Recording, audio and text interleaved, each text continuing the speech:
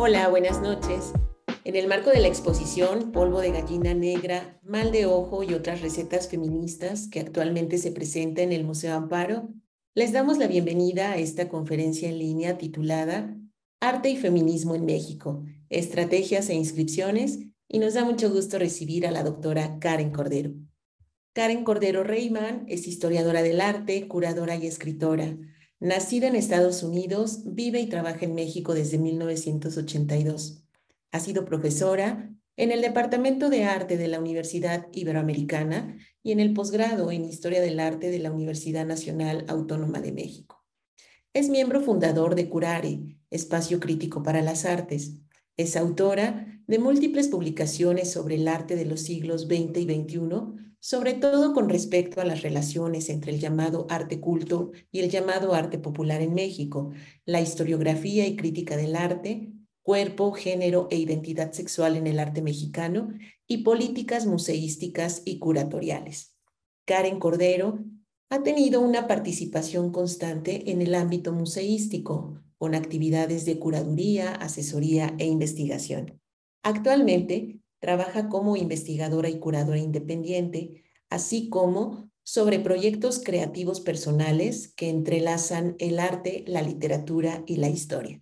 Karen, bienvenida. Nuevamente muchas gracias por estar esta tarde con nosotros y damos la bienvenida también a todas las personas que siguen esta transmisión en vivo. Estaremos recibiendo sus preguntas en la sección de comentarios de Facebook. Adelante, comenzamos. Muchísimas gracias, muchas gracias al Museo Amparo, a Silvia Rodríguez en particular por esta invitación para platicar con ustedes en el marco de esta maravillosa exposición que tienen actualmente, Polvo de Gallina Negra. Y bueno, eh, sin más voy a iniciar compartiendo pantalla para este, hablar de, del tema que nos compete hoy, que es Arte y Feminismo en México, Estrategias e Inscripciones. Y bueno, lo que voy a platicar es para dar un poco un contexto a esta exposición eh, que, que tienen, eh, pues que ya tiene tiempo en el, en el museo. Y en particular voy a abordar algunas pautas en la construcción del arte feminista en general en el mundo y en México en particular, y su conceptuación y desarrollo a lo largo de los últimos 50 años y los procesos y estrategias para su visibilización e inserción social por medio de la creación, por medio de la escritura y por medio de exposiciones y acciones. ¿no? Entonces, obviamente, pues va a ser selectiva la, la, la historia, la narración, no se asusten, pero bueno, Iniciamos entonces con este tema y bueno, me dará mucho gusto también dialogar con ustedes pues al final de la, la conversación. Entonces, bueno, empiezo un poco con una definición de arte feminista, que de hecho es una definición que, que formulamos cuando realizamos la exposición retrocolectiva, como lo llamamos, de la obra de Mónica Mayer, una de las integrantes de Polvo de Gallina Negra, en el Museo Universitario de Arte Contemporáneo. ¿A qué nos referimos con el arte feminista? Es un arte que cuestiona desde sus temáticas, procesos, materiales y modo de involucrar a las personas, las dinámicas de exclusión, invisibilización y violencia, producidas por construcciones desiguales de género y que configura propuestas alternativas en este sentido. Y bueno, inicio también con esta, esta imagen que proviene de, de una exposición que está en el Museo de los Movimientos Sociales, en el módulo de feminismos y disidencia social, porque pone de manera visual uno de los lemas que es fundamental precisamente para el feminismo en general y dentro de eso para el arte feminista, que es lo personal es político. Y también de manera de, alguna manera, poner, poner la mesa, podríamos decir, para esta plática, quería compartir esta cita de un este, investigador inglés, un activista también, John England, este, en un texto que se llama Organización Colectiva, que habla precisamente de los procesos de colectividad, ¿no? Y cómo funcionan. Porque precisamente lo que quisiera subrayar en esta charla con respecto al feminismo y al arte feminista es cómo busca eh, no solo transformar los contenidos, digamos, del arte, ¿no? sino también los procesos, las maneras de trabajar y en ese sentido modelar nuevas maneras de organizar la sociedad y también el sistema artístico y en ese sentido de alguna manera vislumbrar otras posibilidades de imaginar y actuar en el mundo, otras maneras de organizar nuestra sociedad que justamente eh, se apartan de las jerarquías, de las violencias que pues han caracterizado nuestra civilización y nuestra sociedad a lo largo de muchísimos siglos y hasta la fecha, ¿no? Y que forman parte también de la estructura patriarcal en el que estamos insertos. Entonces, bueno, leo la cita. El pequeño grupo puede crear espacios libres donde cada individuo puede cuestionar la sumisión y la obediencia a la autoridad, el condicionamiento a roles de género y las relaciones de poder proporciona una oportunidad para los individuos para analizar el poder y la dominación desde experiencias compartidas y para desarrollar nuevas habilidades, nuevos comportamientos y estilos de vida no jerárquicas y no explotadores. El pequeño grupo puede empoderar a sus integrantes individuales. Y bueno, eh, Justamente en el movimiento feminista, a partir de los años 60 y 70, se retoma como una de las bases del trabajo, el trabajo en pequeño grupo, muchas veces en el contexto de los llamados grupos de concientización o concienciación feminista o concienciación de mujeres, ¿no? Donde la gente se siente en un círculo, este, en una estructura que pretende ser no jerárquica, ¿no? Y cada persona tiene la oportunidad de tomar la voz y de hablar de lo que le pasa y en este compartir de, cada quien de lo que les pasa, de las cosas que les inquietan en sus vidas, en su relación con la sociedad, empezamos eh, y, y empiezan, empiezan y empezamos a encontrar que muchas de las cosas que nos inquietan son comunes, a veces los modos de desarrollarlas son diferentes, y que en ese compartir se empieza a encontrar un lenguaje, una voz, una manera de trabajar de manera individual y en conjunto para expresar otra parte de la cultura, otra parte de la experiencia, en particular la experiencia de las mujeres o las experiencias eh, vinculadas con una, una identidad de género no dicotómico, ¿no? Que este, empiezan a dar lugar a la imaginería, a la iconografía y a los procesos del arte feminista. Entonces, eh, pues en esta plática eh, voy a desarrollar algunos de los temas que eh, pues están presentes en, en la pantalla y luego ver cómo, cómo se van desarrollando también en, en en trabajos de creación y también en trabajos de exposiciones, ¿no? Y bueno, justamente el fundamento, a partir de esta idea de lo que lo personal es político, de lo que nos pasa, tiene que ver con lo, con lo que pasa a los otros y lo que pasa a los otros tiene que ver con lo que pasa a nosotros y que en todo eso está implícito en una dinámica de poder todo eso, de alguna manera, se, se va a marcar en esta plática en relación con una, un énfasis en cómo la colaboración y la colectividad han sido una parte fundamental del arte feminista. ¿no? Además, pues dentro de ese contexto voy a hablar de algunos de los ejes del arte y la pedagogía feminista, el cuerpo, lo doméstico, lo performativo y, y procesual, la subjetividad femenina, la resignificación de mitos y arquetipos y finalmente maneras de imaginar y crear otros futuros. Entramos en materia entonces. Justamente, bueno, voy a empezar hablando de algunas de las cosas que están pasando en el contexto internacional cuando paralelamente se está gestionando el arte feminista en México. Y bueno, todo esto también forma parte de, del contexto que pues se van a convertir también en el espacio de formación de una de las integrantes de Polvo de Gallina Negro, Mónica Mayer. Eh, justamente ella estudió a finales de los 70, principios de los 80 en el Feminist Studio Workshop, el taller de, de arte feminista, eh, que era la primera escuela de arte, arte feminista fundada en Los Ángeles por Judy Chicago, Arlene Raven y Sheila Lebrante Bretville, entre otras, ¿no? Y bueno, podemos ver aquí el espacio que, eh, uno de los espacios, pasó por varios lugares, pero el principal espacio que ocupaba, ¿no? Y este, justamente eh, como, como eh, trataba de un trabajo de grupos para empezar a gestionar un lenguaje que hablaba de los temas que preocupaban a las mujeres en ese entonces, ¿no?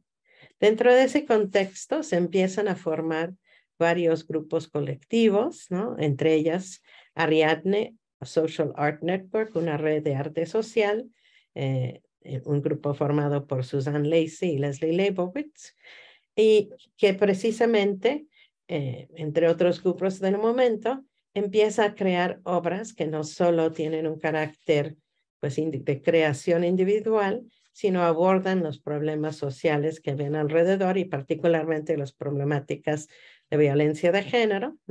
Aquí estamos viendo una, una obra que, en el que de hecho participó Mónica Mayer, este, creando la, bueno, una figura de, de la Virgen, de hecho que está incluido es parte de, es un carro alegórico para una manifestación que se llamaba Retomar la Noche en contra de la pornografía en San Francisco en 78, ¿no?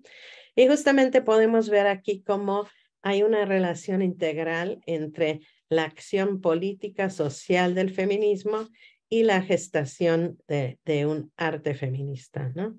Eh, de alguna manera eh, el arte conscientemente feminista. Ahorita vamos a ver cómo el feminismo también enmarca y permite ver otras cosas desde nuevas perspectivas, pero particularmente el desarrollo del arte feminista tiene una relación básica con esta, este contexto de exploración de nuevas alternativas y demanda de nuevas alternativas políticas. Entonces, dentro de ese contexto, eh, en el que se realizan este tipo de actividades. Estamos viendo arriba otra, otro trabajo realizado por Ariadne, este, una red de arte social que se llama Making It Safe, haciéndolo seguro, el arte como intervención social en 79. Y bueno, dentro del marco de este proyecto que buscaba justamente pues encontrar, identificar y encontrar maneras de convertir Los Ángeles y ciertos barrios, en particular de Los Ángeles, en espacios más seguros y en particular más seguros para las mujeres.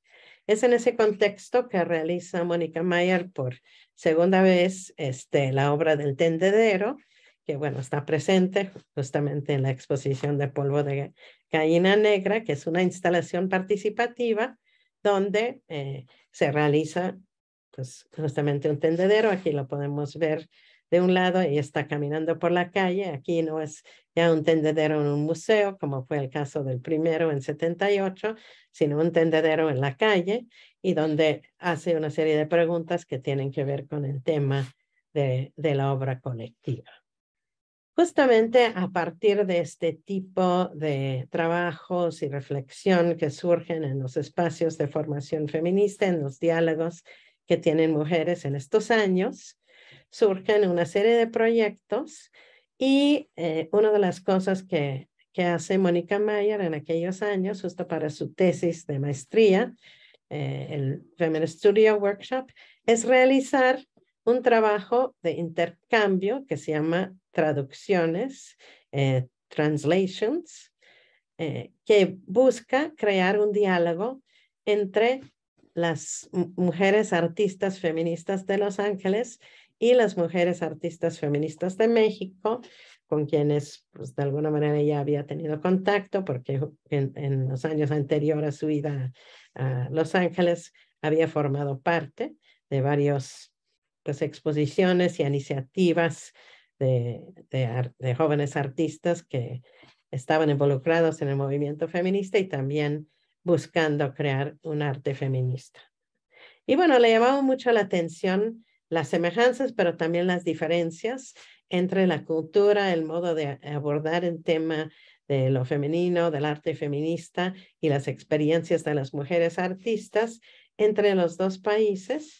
Entonces realiza esta actividad donde invita a, varias mujeres de, que conoce en Los Ángeles en el contexto del Feminist Studio Workshop y los trae a México y realizan una serie de encuentros.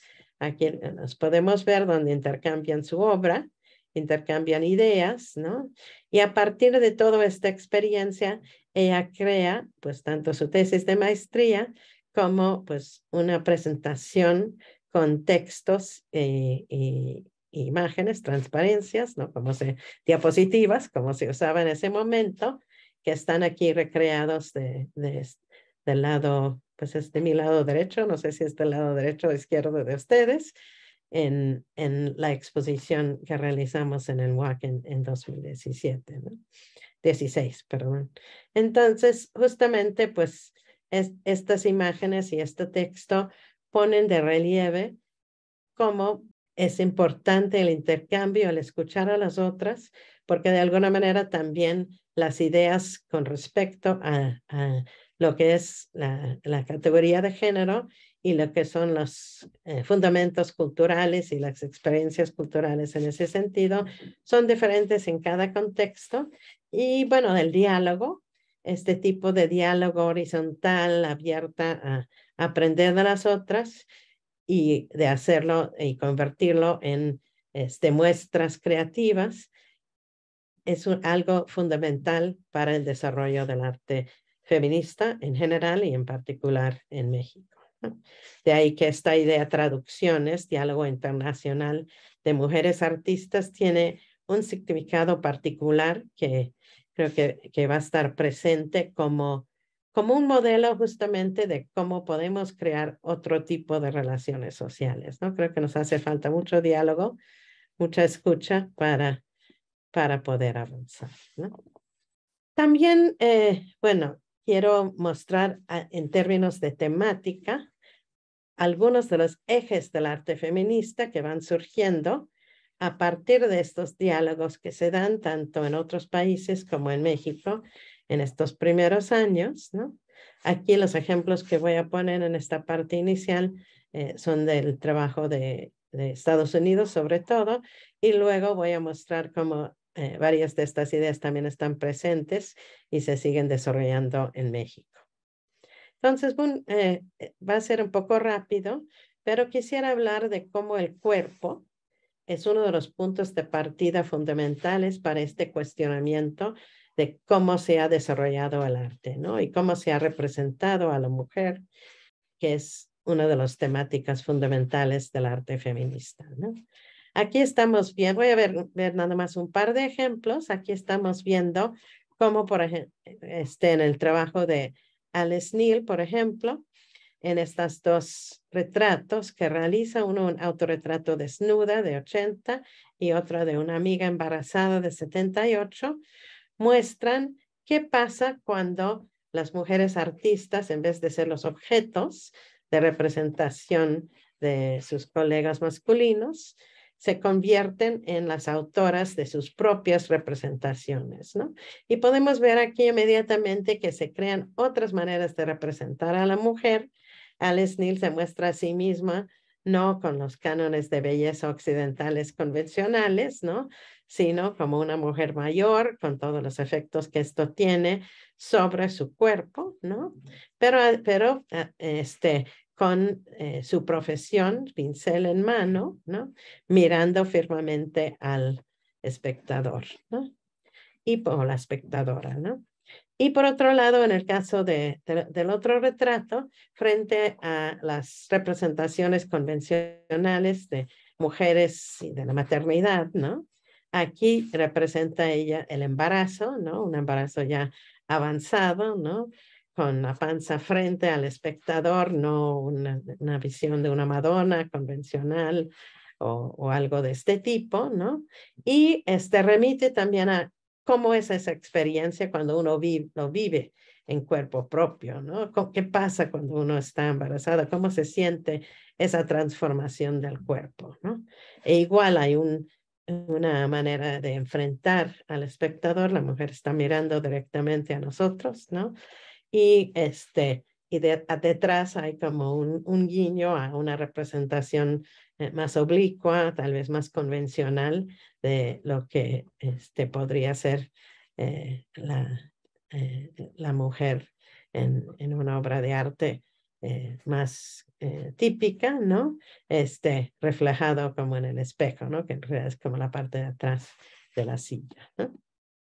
Por otro lado, uno de los aspectos que se desarrolla en estos años eh, a partir de las reflexiones de arte feminista es justamente la idea de poner el cuerpo, el performance, ¿no? Y aquí estamos viendo una un performance pionera de Carolee Schneeman, una artista norteamericana que nuevamente este, está utilizando su propio cuerpo desnuda eh, como herramienta, ¿no? Y está sacando de su vagina una serie de textos que pues provocan justamente una reflexión sobre cómo se percibe y cómo se representa el, cuerpo femenino. Esta, esta idea del performance, de utilizar el cuerpo propio para hablar de la experiencia femenina, también es uno de los eh, aportes, podemos decir, y unos aspectos fundamentales del arte feminista. Y bueno, regresando al aspecto del cuerpo social, ¿no? También la, la reflexión sobre las cosas que pasan a los cuerpos de las mujeres en la sociedad, en particular la violencia de género en espacios públicos, la violación, también es un tema que, que se retoma en este eh, rubro del cuerpo, ¿no? Nuevamente estamos viendo aquí un trabajo de, de la red de arte social Ariadna de Susan Lacey y Leslie Leibowitz, donde marcan en un mapa y al mismo tiempo marcan en la calle los lugares donde habían, habían ocurrido violaciones en una época donde nadie hablaba de la violación, no había maneras de denunciar la violación y era un tema muy tabú. ¿no? Entonces, el arte feminista ayuda a sacar esos temas, a convertir, esos temas en temas del arte, ¿no? Entonces, nuevamente hay ese movimiento entre lo personal y lo político. Otro aspecto que toma eh, eh, un lugar importante en el desarrollo del arte feminista es el, el tema del ámbito doméstico, que generalmente se ve como el ámbito natural de la mujer, a partir de una serie de convenciones que se desarrollan pues en el siglo XVIII, en el siglo XIX, ¿no? Y el arte feminista da la vuelta a esa estructura, a esa convención en varios sentidos. De un lado, en una de, en una de las primeras escuelas, incluso anterior al Feminist Studio, Workshop en, en Estados Unidos, eh, que se llama Woman House, la Casa de las Mujeres, Miriam Shapiro y Judy Chicago utilizan literalmente una casa como el soporte para reconfigurar una reflexión eh, sobre el espacio doméstico. ¿no?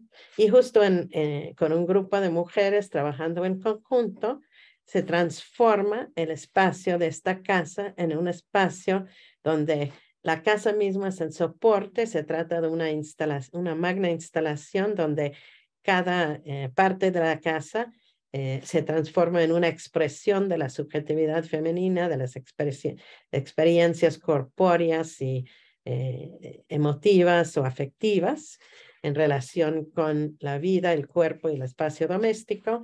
Por ejemplo, en el baño de menstruación, donde en este fondo blanco este, tan limpio, este, se ven los restos de, de los elementos usados para absorber la sangre menstrual. Y por otro lado, en otro baño hay un baño de lápiz labial donde todo está cubierta con el rojo del lápiz labial, ¿no? O hay otro performance, en este caso de Chris Rush, donde una actividad doméstica normalmente no presente en el arte, que es limpiar el piso, se convierte en el tema que se repite y se repite como una especie de baile, se podría decir, ¿no? Pero al mismo tiempo mostrando el tedio y al mismo tiempo visibilizando el trabajo doméstico. Y bueno, también se utilizan eh, aspectos y prendas, ¿no? Vinculados con este ámbito, en este caso los delantales, para hablar de cómo a través de las actividades domésticas y, y actividades relegados como artes manuales, ¿no? Actividades artísticas como el bordado y actividades como las reuniones, las conversaciones entre mujeres, se crea una experiencia de apoyo mutuo y sororidad, ¿no? Nuevamente este tema de trabajo colaborativo horizontal como eh, se retoma en esta obra de Abba Geber. Y bueno, una de las obras más eh, connotadas y tal vez eh, más celebradas dentro de lo que ha venido siendo una narrativa del arte feminista, es el The Dinner Party Project, la cena de Judy Chicago, donde pues se eh, unen varios de estos temas. De un lado es un trabajo colaborativo que incluye más de 400 personas. Por otro lado, este, crea un espacio diferente, una mesa que no tiene una cabeza, no tiene una estructura jerárquica convencional, sino está en forma de triángulo, ¿no?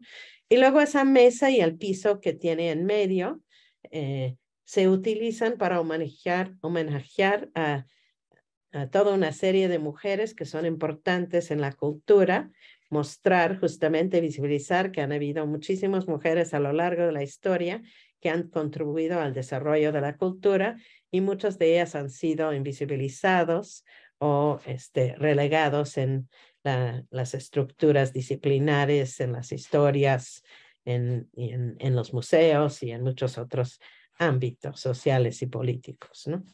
Entonces, bueno, a, a través de esta mesa y también a través de un, un eh, ámbito y un colaborativo y a través de un enfoque sobre el trabajo artesanal, la, la cerámica, el bordado, el, uso de, del arte textil, se crea como todo un contexto donde se pone de relieve y se celebran estos aspectos, ¿no? Utilizando nuevas estructuras de poder y, y, una nueva visión del arte colaborativo y no jerárquico.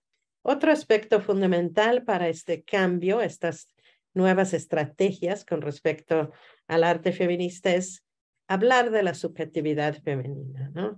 Hablar de cómo es la experiencia de ser eh, mujer en la sociedad, no porque haya un, una experiencia única, ¿no? Al contrario, uno de los eh, aspectos fundamentales del feminismo y los estudios de género es desconstruir esa idea de que hay la mujer, ¿no? Que hay algo esencial que nos habla de lo femenino, ¿no?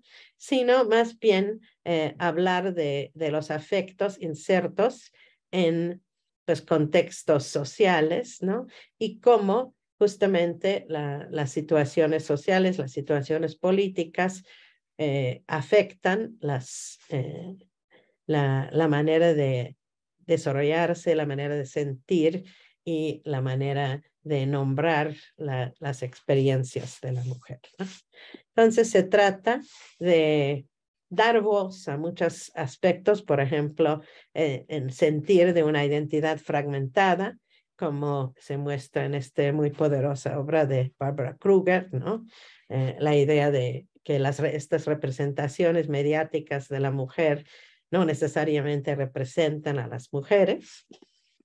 Por otro lado, en, en el trabajo temprano de Judy Chicago desarrolla toda una serie de maneras utilizando las formas de expresión minimalistas en boga en su tiempo, pero al mismo tiempo transformándolas a través de otro uso de color, otro uso de la línea, para crear formas a través de los cuales pretende, de un lado, expresar la, la experiencia de la sexualidad femenina, en particular, pues el orgasmo femenino, y por otro lado, pues hablar en relación con ese reconocimiento y reflexión sobre y compartición de experiencias con respecto a la sexualidad femenina, cómo todo eso contribuye a una posibilidad de un desarrollo, de una transformación en cómo la, mujer se desenvuelve en la sociedad, ¿no? De ahí que una de las obras se llama Las grandes damas transformándose en mariposas. Y bueno, para mostrar nada más un ejemplo adicional, en esta escultura de Linda Biengles, este, también vemos un franco, franco enfrentamiento a, eh, al arte minimalista que pretende que el arte sea como muy puro, muy lógico, muy este, conceptual, ¿no? Pero en un sentido que demarca justamente con claridad las categorías, los espacios, los géneros artísticos, separa lo bidimensional de lo tridimensional, ¿no? Y bueno, ella, entre otras mujeres artistas de su tiempo, rompe con esos límites y aquí en particular, pues eh, lo crea como irónicamente como un homenaje a Carla André, uno de los escultores minimalistas principales, ¿no? Y eh, en una esquina, pues está derramando todos estos fluidos, toda esta materia, toda esa corporeidad, ¿no? Que irrumpe en este espacio limpio y geométrico. Y bueno, finalmente, en esta, esta primera reflexión sobre las categorías que introduce el arte feminista para retar justamente la, la iconografía y los conceptos de arte patriarcal, podemos hablar de la resignificación de mitos y arquetipos. Aquí nada más un par de ejemplos, las hermanas de sobrevivencia, que es un grupo de mujeres que en espacios convencionalmente asociados con eh, ritos eh, muy antiguos, ¿no? Como aquí en Aberbury, en, en Inglaterra, ¿no? crean una serie de ritos, ritos propios, ¿no? Que de alguna manera protagonizan las figuras eh, femeninas y feministas, ¿no? Y tratan de crear otro tipo de mitología, otro tipo de espiritualidad que no eh, expulsa a la participación de las mujeres o lo relega a, posiciones menores. ¿no? También en muchos casos se, eh, se da este diálogo con las, los aspectos arquetípicos o, históricos, de manera que maneja pues algo de humor, ¿no? En el caso de la artista Louise Bourgeois, por ejemplo, retoma eh, algunas de las características de eh, obras antiguas, en este caso de Turquía, ¿no? Y crea estos trajes de látex donde pone los pechos alrededor de todo su cuerpo y camina en Nueva York con ellos, ¿no? Con este carácter performativo, como transformando su contexto, ¿no?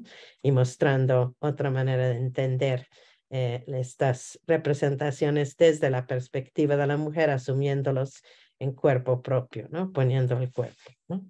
Y bueno, finalmente, la artista chicana, este, Yolanda M. López, eh, retrata a sí misma como la Virgen de Guadalupe, pero una Virgen de Guadalupe activa, saliendo, corriendo, accionando en el mundo, ¿no?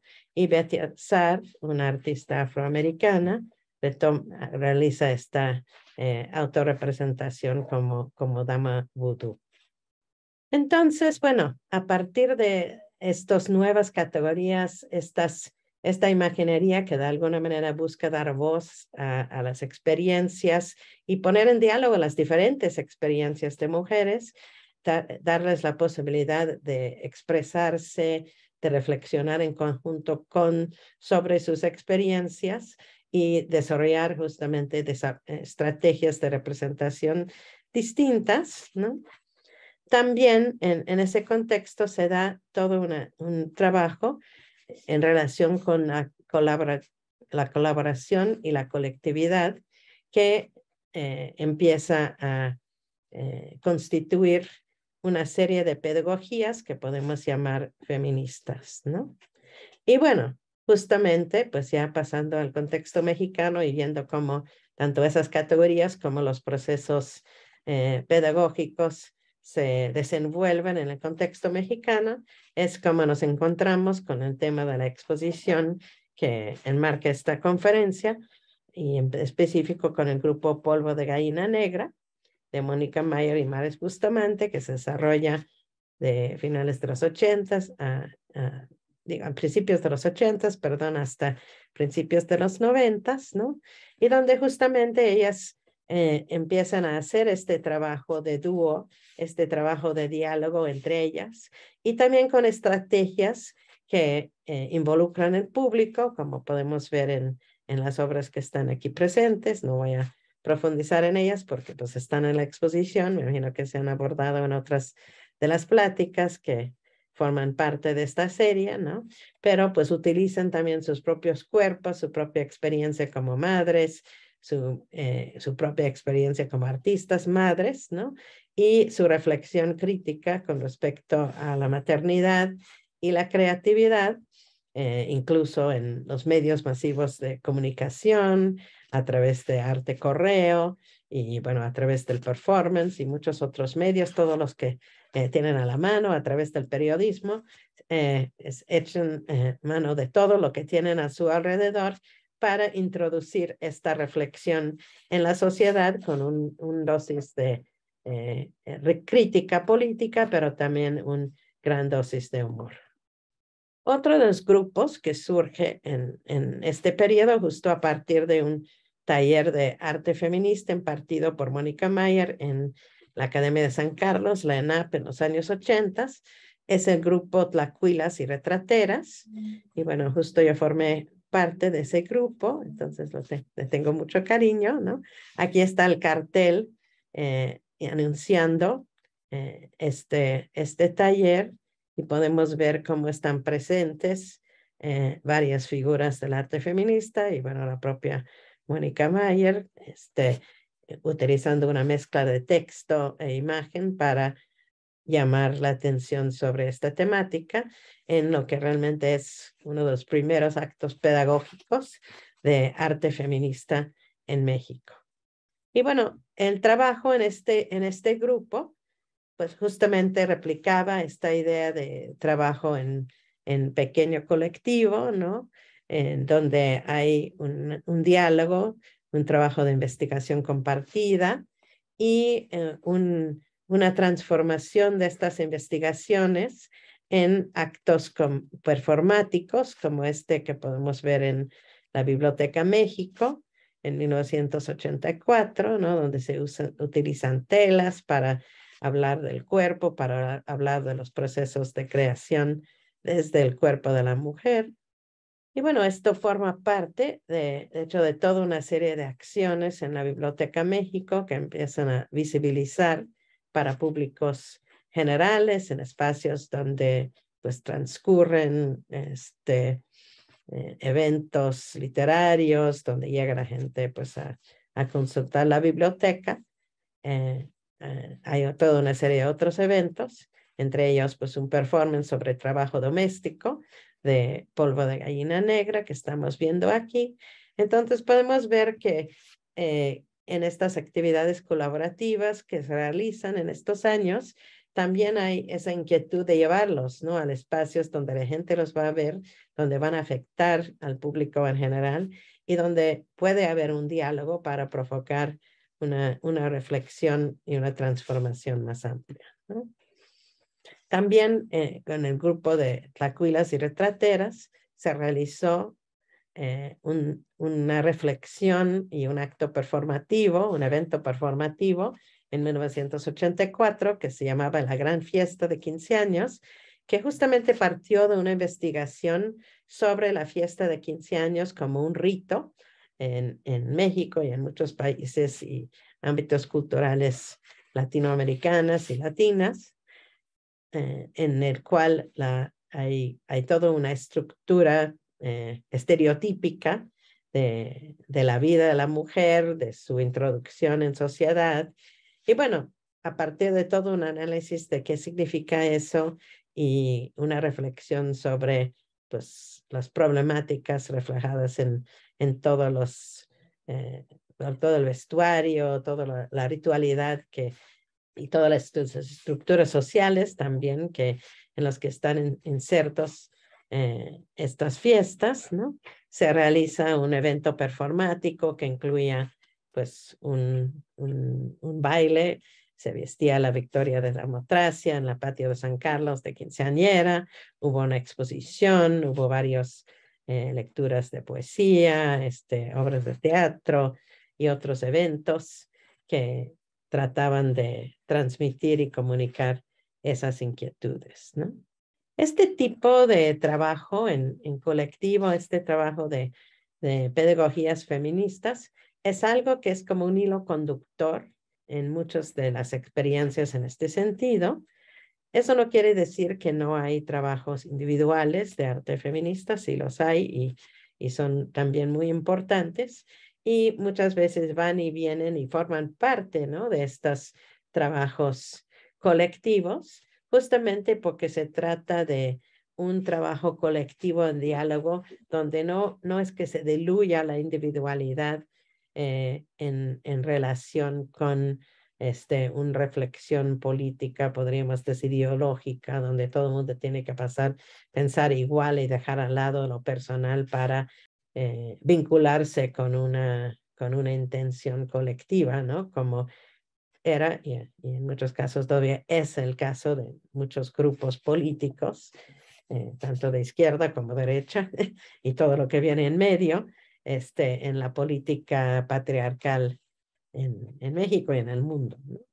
Entonces, el tipo de trabajo en colectivo aquí, en las manifestaciones, en las acciones y en los, eh, las obras eh, participativas que se realizan, tiene este sesgo distintivo porque se trata de poner en diálogo voces que no necesariamente son voces que están de acuerdo, ¿no? Sino investigar y poner de relieve todas las diferentes experiencias de mujeres, ¿no? Y en este caso estamos viendo eh, el trabajo del taller de arte y activismo feminista, al que convocó Mónica Mayer en, en 2011-2012, ¿no? Justamente para trabajar sobre el tema de la maternidad, ¿no? Y desarrollaron en conjunto una idea que se llama las maternidades secuestradas, que también está presente en la exposición de polvo de gallina negra, ¿no? Después se replicó en Argentina con otros, eh, otros eh, eh, relaciones, perdón, falta una D, estoy viendo aquí en secuestradas, ¿no? Pero bueno, se trataba de unirse, hablar con diferentes mujeres sobre cuál es, su experiencia de la, de la maternidad y finalmente realizar esta manifestación colectiva en el Zócalo, ¿no? Donde justamente las pancartas expresan todas las diferentes maneras en que se puede identificar una maternidad secuestrada, no autodeterminada, eh, en, un, en un contexto de libertad e igualdad, ¿no? Es muy diferente de una manifestas, típicas manifestaciones donde todo el mundo pues va como gritando las mismas consignas, ¿no? En este caso, cada quien tenía su consigna, ¿no? Y justamente se mostraba de la diversidad de experiencia de la maternidad, ya sea de eh, personas que sí habían ejercido la maternidad o los que son, bueno, también mostrando que la, las, problemáticas alrededor de la maternidad nos afectan a todos finalmente, ¿no? Porque todos estamos implicados en esas estructuras de género eh, mm, eh, y dentro de ellas con este estereotipo de la maternidad, participemos o no eh, de manera directa en ella, ¿no? Como que abre la gama de lo que implica la maternidad, que puede ser tener una madre este, que te presionen para tener hijos, que te presionen para no tener hijas, este, que te dicen que puedes adoptar o no puedes adoptar, etcétera, ¿no? Y bueno, el trabajo del tendedero de Mónica, este, que también está presente en la exposición, también tiene este importante componente de colaboración en el desarrollo de las mismas preguntas que, que se utilizan porque cambian en cada uno de los tendederos, ¿no? Surgen precisamente de un proceso de diálogo entre cada comunidad sobre qué cosas son importantes, qué preguntas son los que se deben de hacer, ¿no? Aquí estoy mostrando la, el, eh, el taller que se realizó para hacer el tendedero que se presentó en el MUAC en 2016, pero bueno, es una dinámica que se sigue en todos los tendederos, ¿no? Y también eh, el trabajo colectivo tiene que ver con el desarrollo de otros tipos de talleres y, modos de compartir la experiencia del arte feminista y este, involucrar a, mujeres artistas que a lo mejor no necesariamente habían tenido una trayectoria en ese sentido, en, este, una participación en un diálogo que les permite reflexionar sobre sus experiencias de esa manera. ¿no? Aquí estoy mostrando un taller que eh, dimos en Culiacán, Sinaloa, en 2016, me parece también, finales de 2016, que tuvo un, como resultado no solo un tendedero, sino eh, la producción de una serie de trabajos tanto individuales como colectivos de las integrantes que utilizan estas herramientas del arte feminista para reflexionar sobre su propio contexto social y sus propias experiencias específicas. Todo esto también este, eh, que afecta las formas de creación y producción del arte feminista, también tiene una implicación en cómo narramos, tanto en los escritos como en las exposiciones, las experiencias del arte. Estoy un poco atrasada en el tiempo, pero voy a, tratar de resumir aquí un poco eh, el tema de cómo podemos imaginar un museo feminista, ¿no? Como también el ámbito artístico, como los museos, como los procesos que, que llevan a exposiciones, también pueden transformarse como parte de una estrategia del arte feminista. ¿no? Y bueno, una de las teóricas que ha sido muy importante, particularmente importante para mí en el proceso de reflexión en este sentido, es Griselda Pollock, que en 2007 escribió un libro, Encuentros, en el Museo Virtual Feminista, Tiempo, Espacio del Archivo. Y bueno, su reflexión no es sobre eh, un museo eh, e-, en el ciberespacio, ¿no? Lo virtual no se refiere a eso, sino en el hecho de que el museo, crear un museo feminista es crear algo que no existe en la realidad. Entonces, eh, como dice en la cita que está aquí al lado, no es un depósito de objetos conocibles que exhiben algo feminista, sino una práctica, un laboratorio crítico teórico, un espacio justamente de, bueno, eso ya soy yo introduciendo mis ideas, un espacio justamente de diálogo que interviene y negocia las condiciones de producción y el fracaso de la diferencia sexual como eje crucial de significado, poder, subjetividad y cambio, así como su mediación en las prácticas críticas. Entonces, bueno, a partir de esta idea, pues hemos eh, realizado eh, tanto en, en, contextos universitarios, como se muestra aquí, como en ámbitos alternativos y ámbitos museales más institucionales, una serie de experimentos en ese sentido que son también, como mucho del arte feminista, eh, un proceso, ¿no? O sea, lo importante no solo es el hecho, sino el proceso, el proceso colectivo de, de, su desarrollo y el proceso colectivo de diálogo con el público, ¿no? Entonces, aquí voy a mostrar rápidamente unos cuantos ejemplos. Algunos como estos son parte de una especie de taller laboratorio que, que tuvimos durante varios años en la Universidad Iberoamericana, donde contamos cursos de género con cursos de curaduría y realizamos exposiciones como esta, que fue justo antes de, de que empezó, es explotó todo el, el barullo alrededor del centenario y bicentenario en 2010.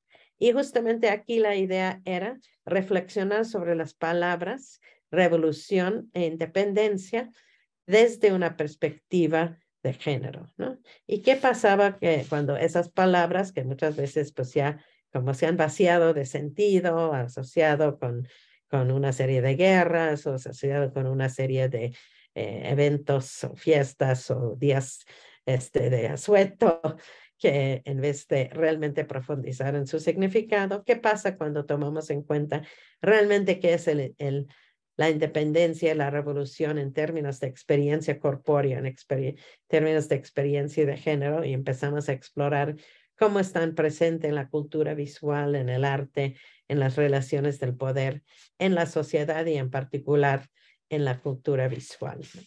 Entonces aquí se trata, esta es la inauguración de toda una serie de eventos performativos y aspectos performativos de la museografía que profundizaban en ese aspecto. Y bueno, se trataba justamente de poner en diálogo obras de diferentes contextos, de diferentes épocas, a través de cuyo encuentro, a través de cuyo diálogo surge una reflexión sobre estas preguntas que acabo de enunciar. También en ese contexto se realizó un trabajo con el archivo de Ana Victoria Jiménez, que es uno de los archivos más importantes del movimiento feminista en México entre los 70s y 90s, pero que no estaba en su casa, no, no este, era consultable, ¿no?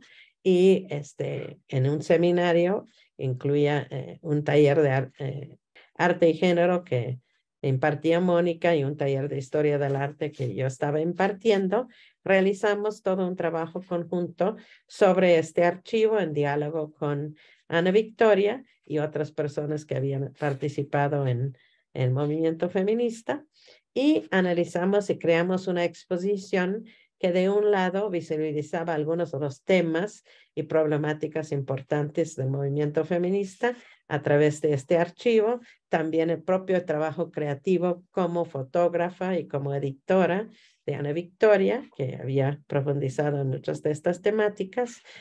Y también se formaron una serie de pequeños colectivos de las artistas y las jóvenes historiadoras del arte que desarrollaron pequeños eh, trabajos, o no tan pequeños, como pueden ver aquí, trabajos conceptuales que activaban eh, algunos de los documentos, como en este caso eh, uno de los carteles más tempranas sobre el tema de la violación nuevamente, ¿no?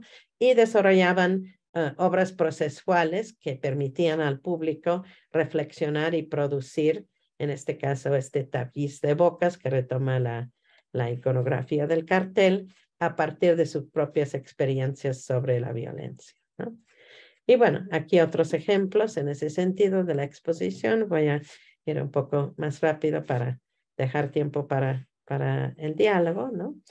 Este otro ejemplo es justamente la exposición retrocolectiva que realizamos con Mónica Mayer en el MUAC en 2016. Aquí es muy importante en este aspecto el tema de la activación de las exposiciones, ¿no? La idea, al igual que con las obras de arte feministas, de convertir la experiencia de, de la exposición no en algo pasivo, no en algo donde uno llega y dice, ay, qué bonito está, ¿no? Sino en una experiencia que implica un cuestionamiento propio, ¿no?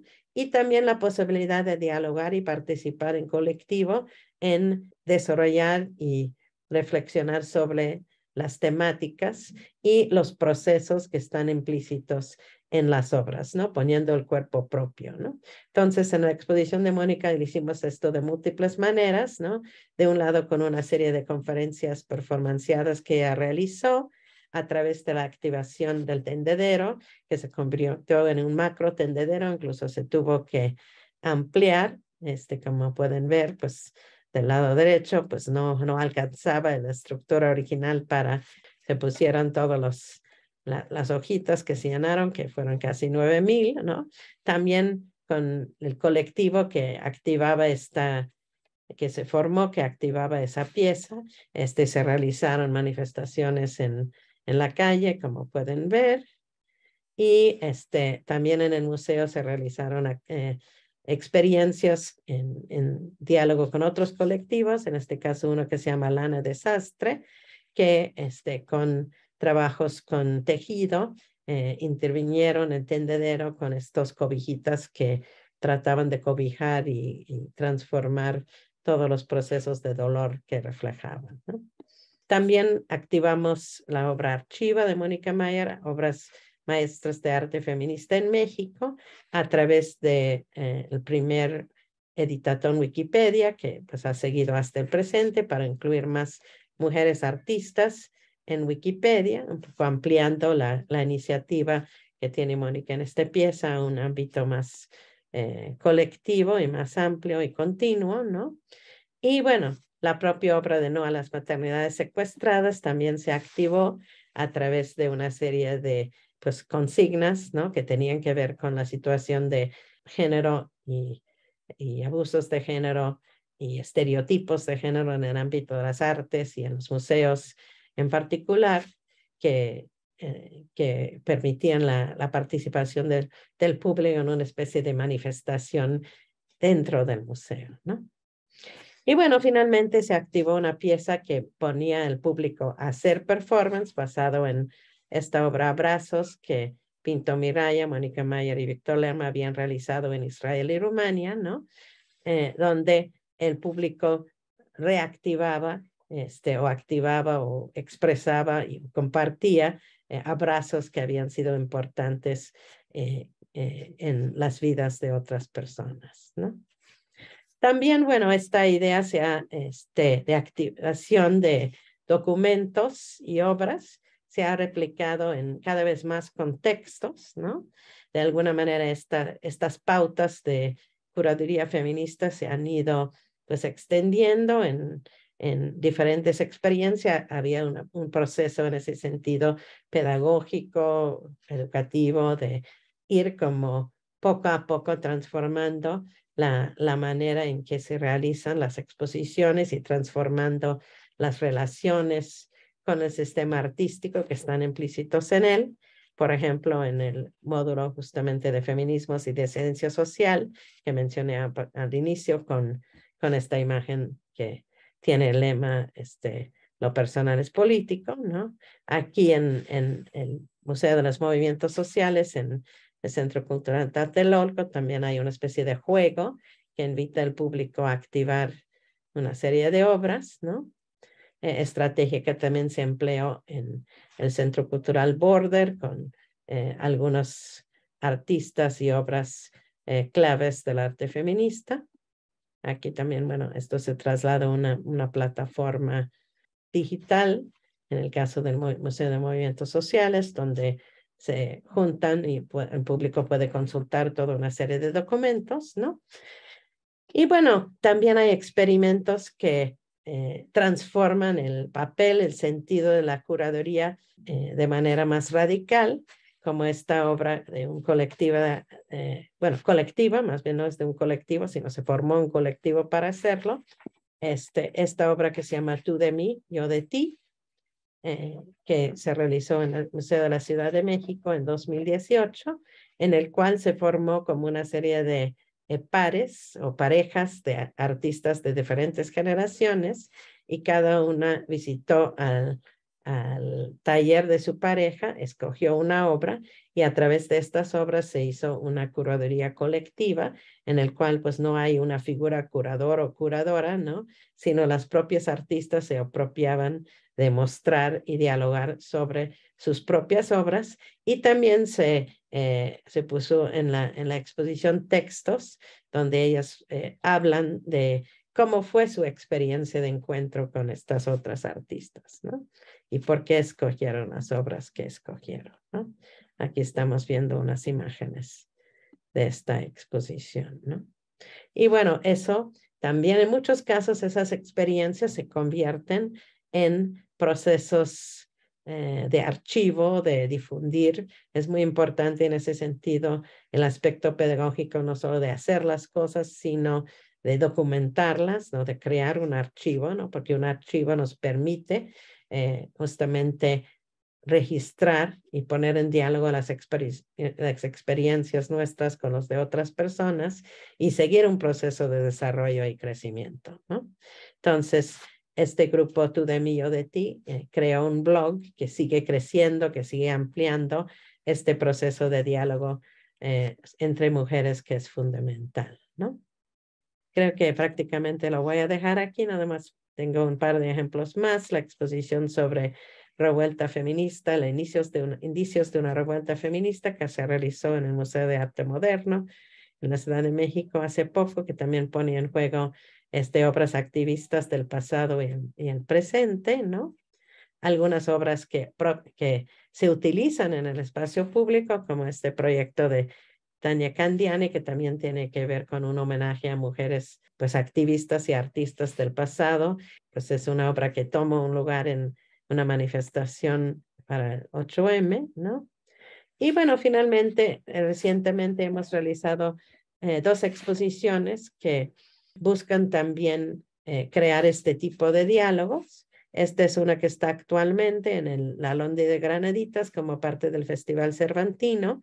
Tiene que ver con activismo y género en la Ciudad de México. Se basa en la idea del violentómetro, justo busca como identificar los diferentes grados de violencia que están presentes desde los estereotipos corpóreos y eh, ideas de, de, lo femenino o, la identidad de género hasta pues la violencia explícita y el feminicidio, ¿no?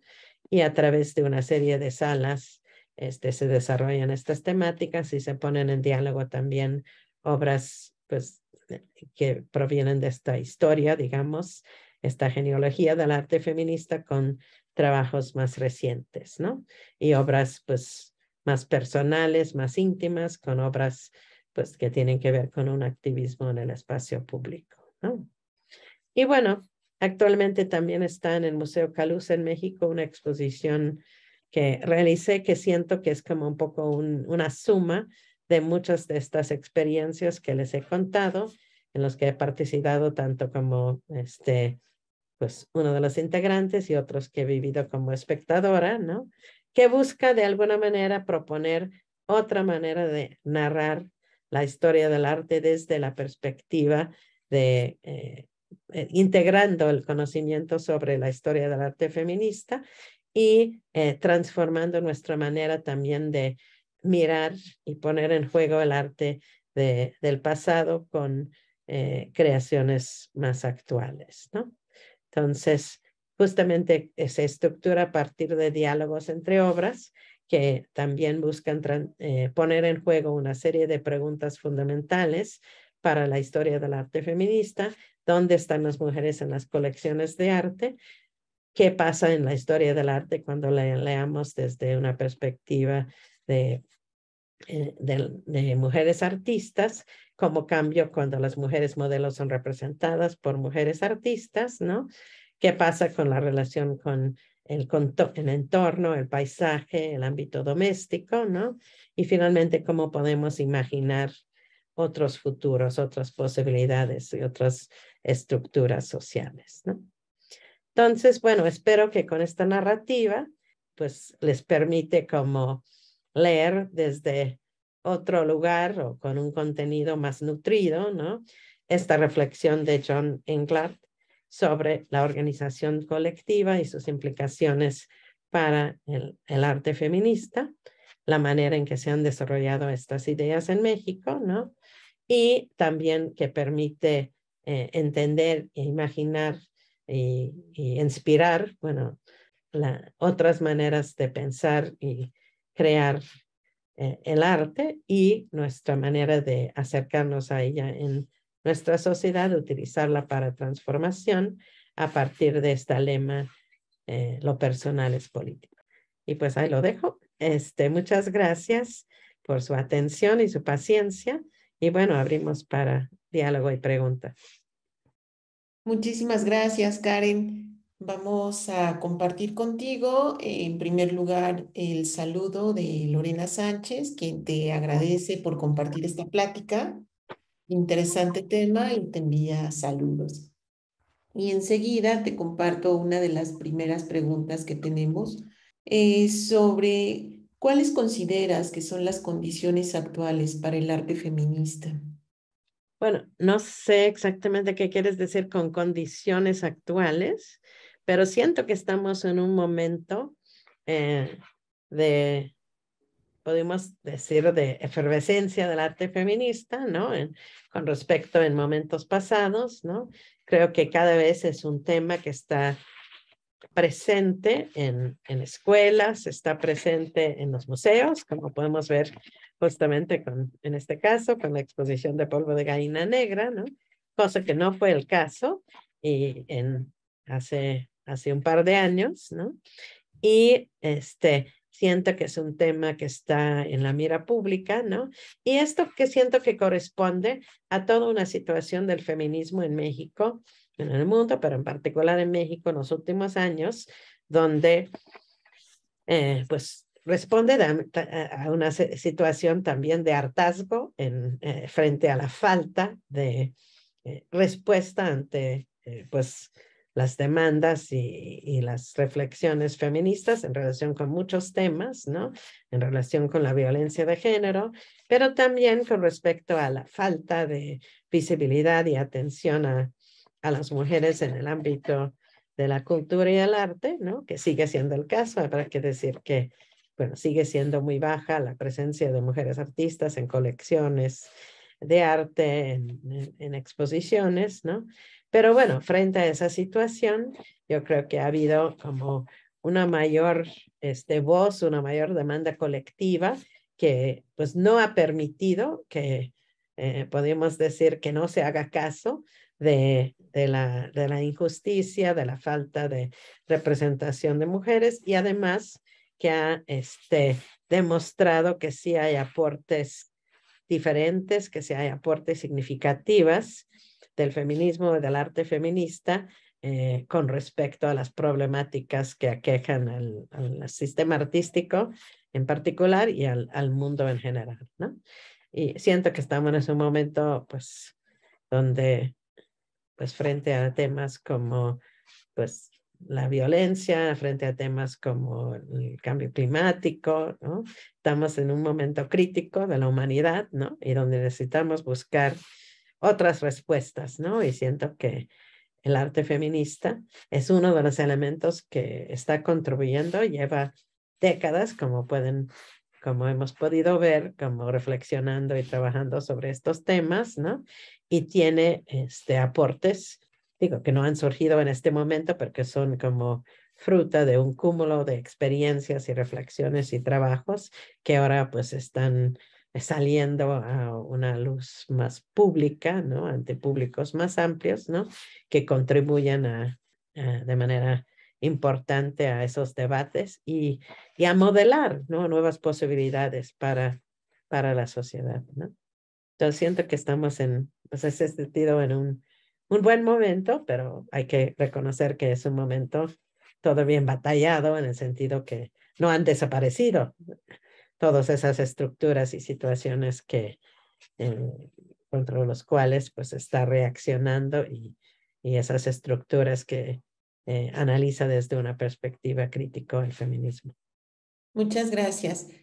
Eh, Tiene saludos también de Ñaño Mustafat y Ámbar Barrera pregunta, ¿podrías llamar esto que nos presentas como los ingredientes del arte feminista? ¿Cómo, cómo? ¿Me puedes repetir la pregunta? ¿Podrías llamar esto que nos presentas como los ingredientes del arte feminista? Bueno, la idea de, una receta es algo que ha estado muy presente en el arte feminista. Lo pueden ver en, en Polvo de Guinea Negra y en el trabajo de Mónica Mayer en particular. También hay artistas como Lorena Belfer que han retomado esa, ese concepto o metáfora, ¿no? Entonces, pues sí, se podría eh, retomar como la metáfora de la cocina este, para, para hablar de, del tema de, del desarrollo del arte feminista en el sentido que son pues partes que contribuyen a un, un proceso que a la vez a través de su interacción pues produce una transformación, ¿no? Entonces sí, sí puede ser una palabra pertinente. Gracias. Ambar igual pregunta, el feminismo actualmente está bastante fracturado y o dividido. ¿Esa lucha interna ya se presenta en el arte? ¿Cómo ha transformado eso el arte feminista respecto a lo que era en los 70, 80? Pues sí creo que hay diferentes, hay muchos feminismos, efectivamente, como señalas, no hay un solo feminismo. Creo que esto ha sido el caso desde hace muchos años, no es algo nuevo, ¿no? Este, por eso deberíamos de hablar y hablamos, ¿no? De hecho, de feminismos más que el feminismo, ¿no? O podemos hablar de artes feministas más que arte feminista, ¿no? Porque justamente por esa diversidad de voces, pues hay diferentes perspectivas que se expresan. Y bueno, creo que es algo que señalé justamente eh, como interesante dentro del trabajo colectivo, el trabajo colaborativo eh, en, el arte feminista, que da lugar a diálogo desde esas perspectivas diferentes, ¿no? Creo que pues eso no desaparece las diferencias eh, que hay, como tampoco otros procesos de diálogo, este, estructuras políticas democráticas o que pretenden ser democráticas, no desaparecen las diferencias que hay en la sociedad, ¿no? Pero sí crean modelos que permiten buscar soluciones pacíficas, podríamos decir, para convivir. Hay una, una búsqueda dentro del arte feminista en este sentido, ¿no? De encontrar maneras de convivir, de encontrar maneras de, pues, modelar las relaciones de poder que buscan dar voz justamente a las diferentes experiencias, ¿no? Y reconocer que existen, ¿no? Diferentes perspectivas, ¿no? Y este, crear espacios e incluso modos de crear obra que hacen posible representarlas, ¿no? Creo que el, el tendedero es un extraordinario ejemplo en este sentido, ¿no? Muchas gracias. Tenemos otra pregunta de Ñaño Mustafat. ¿Qué opina de la postura del gobierno al posicionar a los movimientos feministas como peligrosos, hasta por encima de problemas como el narcotráfico en el país? Pues creo que es una manera de eh, bueno, es un tema de que podríamos hablar como eternamente, ¿no? Pero creo que es una manera de eh, negar los contenidos, ¿no? Eh, creo que justamente las, las acciones cada vez más visibles, cada mes que mostrando la, la falta de aceptación y buscando otras maneras de representación en, en la sociedad, eh, pues de manera más insistente y más masiva, ¿no? Que ha caracterizado el movimiento feminista en los últimos años, ¿no? Es una muestra de hartazgo entre pues la, la falta de acción, la falta de reacción, la falta de propuestas de, en, en los gobiernos y en la, las estructuras sociales que, nos rodean, ¿no? Y que forman parte de, pues, un sistema jerárquico, un sistema eh, patriarcal que sigue estando muy presente en, en, las estructuras gubernamentales, ya sea de un partido o de otro, ¿no? en todos los que hemos, este, que, que nos han tocado, ¿no? En, en los últimos años, ¿no? Y creo que esto no es algo solo de México, sino de muchos de muchos países y de, y de muchos entornos, ¿no? Muchas gracias, Karen. Son todas las preguntas que tenemos, que hemos recibido. Queremos agradecerte nuevamente por esta charla tan interesante, estas líneas que nos has planteado. Y antes de cerrar esta sesión, pues me gustaría pedirte si, si puedes compartir con nosotros una reflexión final respecto al tema que, que hoy abordaste. Quisiera señalar que me parece muy positivo que, que pues están presente, que está cada vez más presente el arte feminista y el arte de las mujeres en los espacios públicos, en los espacios museales, ¿no? que son pues uno de los principales espacios para eh, pues dialogar y conocer arte en México en particular, ¿no? Y en el mundo, ¿no? creo que es muy importante que eso no se queda solo en pues un acto, en actos eh, eh, sueltos o podemos decir o, individuales, ¿no? O eh, pues en una, una, una, acción reactiva, ¿no? A, a, la, a la importante presencia de las demandas feministas en la sociedad, ¿no? Sino creo que eso se tiene, tiene que extenderse y profundizarse a partir de una reflexión colectiva y en particular dentro de las, las instituciones y las profesiones que pues, nos dedicamos al ámbito del arte y la cultura para ver cómo pueden haber cambios estructurales, ¿no? en las instituciones artísticas, en las estructuras dentro de los museos, en la manera de considerar a las a cómo el género eh, afecta a todos los, todas las personas y todos los públicos que están presentes en los museos, en todos los niveles de las personas que trabajan y que asisten a los museos, ¿no? Y cómo se, se, tiene que transformar las narrativas que presentan los museos, ¿no? Las narrativas en términos de la historia eh, que nos contamos y que nos cuentan sobre el arte, ¿no? Y pues buscar propiciar otras maneras de estructurar las colecciones, otras maneras de presentarlas, otras maneras, otros procesos para generar exposiciones y experiencias que de alguna manera dan continuidad a toda esta serie de reflexiones que se han propiciado desde el arte feminista y desde una perspectiva crítica con respecto al arte y la historia del arte. Agradecemos nuevamente a la doctora Karen Cordero por esta charla que hoy ha compartido con nosotros y queremos recordarles que la exposición Polvo de Gallina Negra va a permanecer un par de semanas más, así que los invitamos a que si no la han visitado aún, no se la pierdan. Es una exposición que permanecerá hasta el 14 de noviembre en las salas de exposiciones temporales del Museo Amparo y les recordamos que nuestro horario de visita es de miércoles a lunes de 10 de la mañana a 6 de la tarde y tenemos entrada gratuita todos los días. Pues muy, muy buenas noches para todos los que siguieron esta transmisión en vivo. Muy buenas noches para ti, Karen, y esperamos verte muy pronto en el Museo Amparo. Gracias. Muchas gracias. Y sí, les recomiendo muchísimo la exposición y, otras exposiciones que tienen actualmente también en el museo, como el de Sandra Gamarra, por ejemplo, ¿no? Realmente vale la pena la visita y bueno, pues felicidades por, por estas excelentes exposiciones. Muchísimas gracias, Karen. Muy buenas noches para todos. Buenas noches y muchas gracias. Muchas gracias también a todo el público.